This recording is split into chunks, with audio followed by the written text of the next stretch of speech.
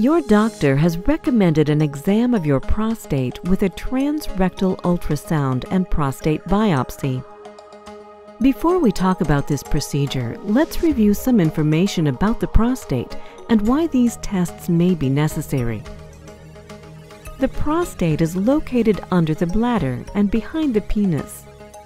It is a walnut sized gland that is part of the male reproductive system. It helps make semen. The urethra is a tube that carries both urine and semen to the penis. It passes through the prostate, which surrounds it like a donut. If you are scheduled for this procedure, your surgeon is concerned that you may have prostate cancer. Prostate cancer is the most common cancer found in men. At most risk are men age 50 and older and those with a family history, especially a father or brother with prostate cancer. But at highest risk are African American men and men over age 70. Usually, there are no early signs of prostate cancer, but some men have problems with urination or pain that warn a physician that more testing is needed. Prostate cancer screening can help physicians find prostate cancer early before a patient has problems and include the digital rectal exam, or DRE, where a physician examines the prostate for lumps by placing a gloved finger in a man's rectum, and prostate specific antigen, or PSA, is a blood test ordered for some men based on their age and risk factors. Routine PSA testing is not recommended after age 70. A prostate ultrasound with biopsies is done to test for cancer when a nodule or lump is felt.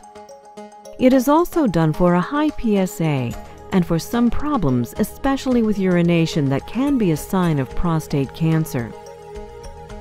With an ultrasound, your surgeon is able to scan and measure the prostate without x rays or radiation. The ultrasound also guides the needle used to biopsy your prostate. The tissue biopsies are sent to a pathology lab for examination. The next steps for your care are discussed after the procedure and with the final lab results. This may take one to two weeks. If cancer is found, the lab will give the tumor a number called a Gleason score, which is a grade of how abnormal or aggressive the tumor cells look. DNA gene testing is commonly done on the tumor cells as a new way to measure how aggressive the tumor is. This is different than a cancer stage, which is based on where, how large, and if the tumor has spread. Treatment decisions for prostate cancer are based on many factors, including a patient's age and general health, the Cancer Gleason score, DNA results, and stage a biopsy can be false negative. That means the biopsies did not find prostate cancer that was there. 30% of men with prostate cancer, about 1 in 3, will have normal biopsy results from the first procedure.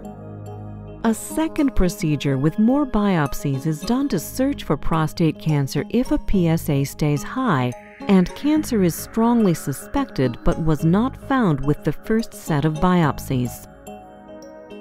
Sometimes MRI, magnetic resonance imaging technology, is used with the ultrasound to help find or target a tumor for biopsy.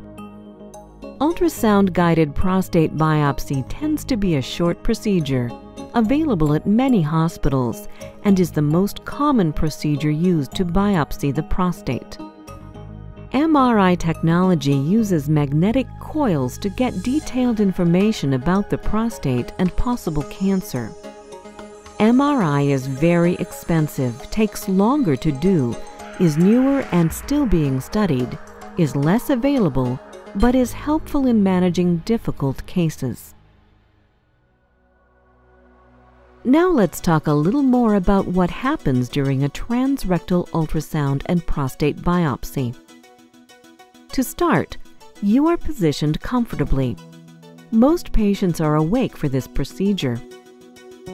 An ultrasound probe is coated with lubricant gel and gently placed into your rectum. The gel helps the probe to be more comfortable for you and is needed to get clear ultrasound pictures. The size and shape of the prostate is checked and measured by gently moving the probe near the prostate. Numbing medication is injected near the prostate to decrease the discomfort of the biopsies.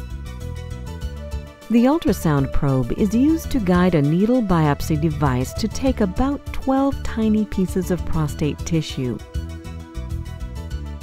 You will hear a snapping sound with each biopsy. After the biopsies, the ultrasound probe and needle are removed. This procedure is done as an outpatient. That means you will go home the same day as the procedure.